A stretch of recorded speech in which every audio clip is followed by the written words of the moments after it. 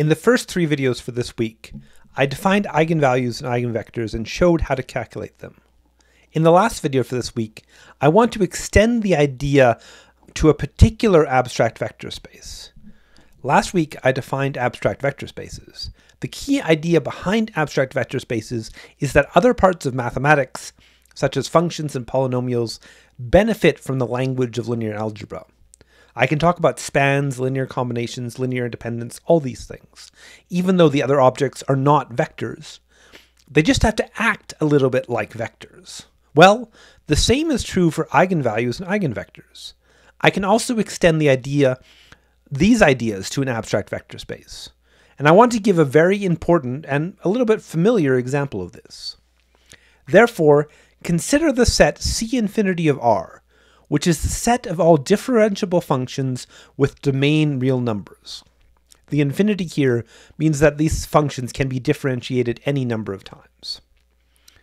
These are single variable functions from calculus, things like sine x, e to the x, polynomials such as x cubed minus 4x plus 1.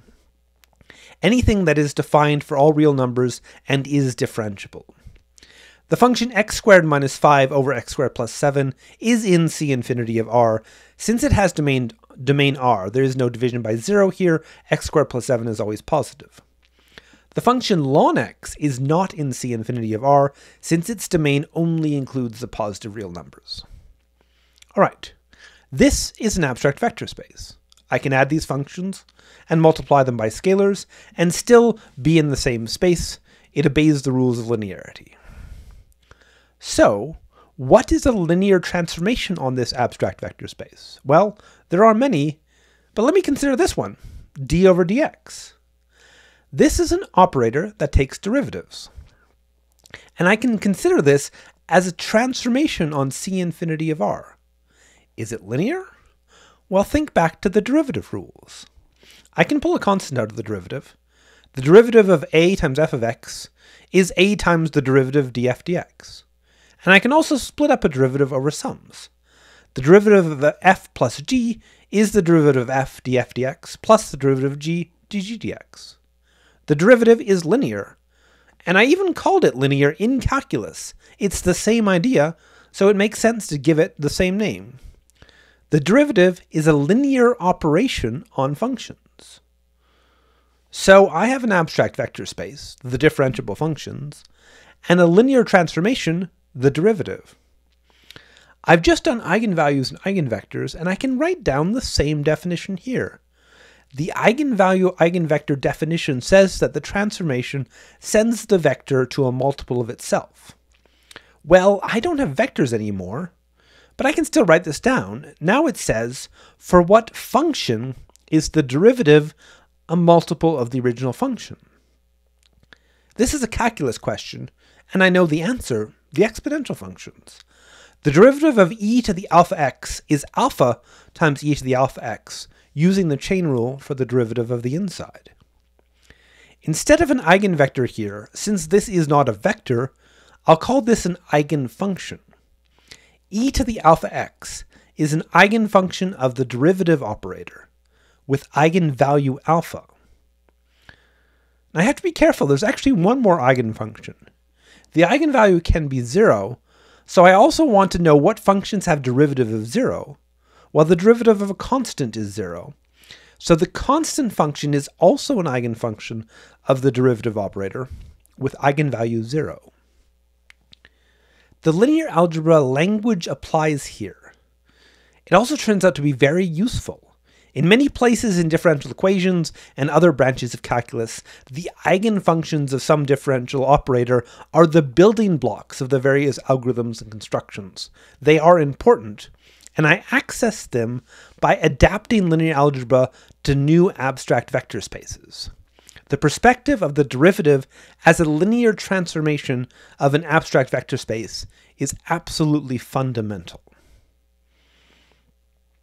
I have the simple derivative d over dx, but I can also make many more linear transformations out of derivatives and ask for their eigenfunctions. I can use higher derivatives, and I can use multiplication by constants.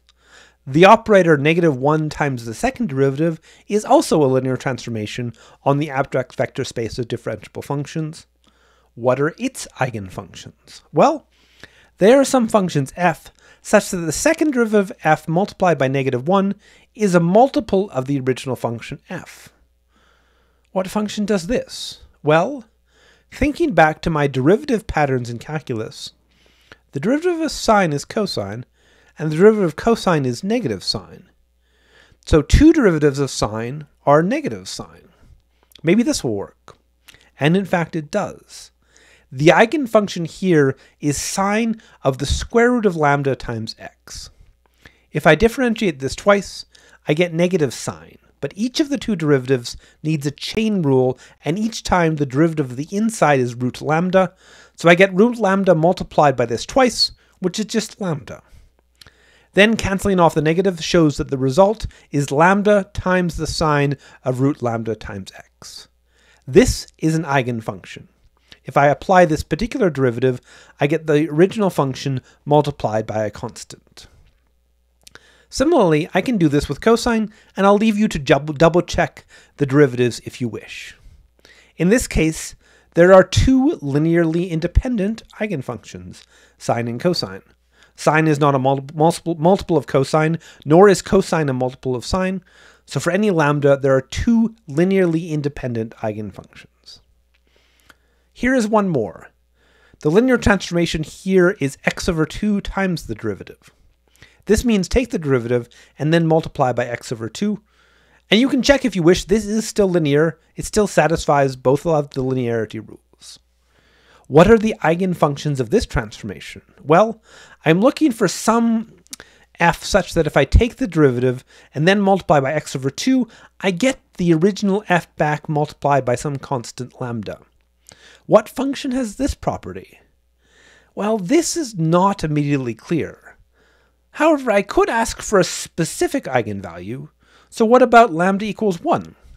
What function has the property that its derivative multiplied by x over 2 is the same as the original? This I know, the function f of x equals x squared. If I differentiate, I get 2x by the power rule.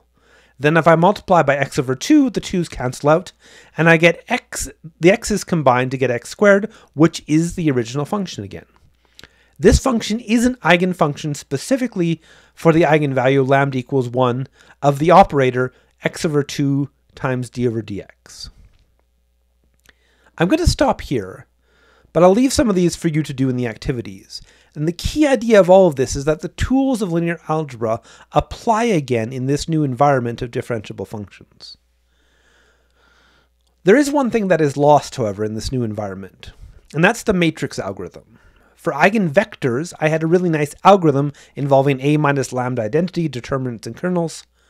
For the linear transformations on differentiable functions, I have no such algorithm. The transformations aren't matrices any longer, so I no longer have determinants to help me out. I can only quote unquote solve the problems in this video by recognizing patterns. From my exposure to calculus, I just remembered that certain functions could fit these patterns. And this is fine for examples, but not really good enough for general solutions. To actually solve for these eigenfunctions is quite difficult. This is essentially solving complicated and tricky differential equations. And I'm not going to ask you to do that. In the activities, I'll also provide some questions that only rely on recognitions of patterns from calculus using very common functions. But even though I can't provide a general solution method here, I hope it's a little bit fascinating how the language of transformations and eigenvectors translates into differential operators on differentiable functions producing eigenfunctions.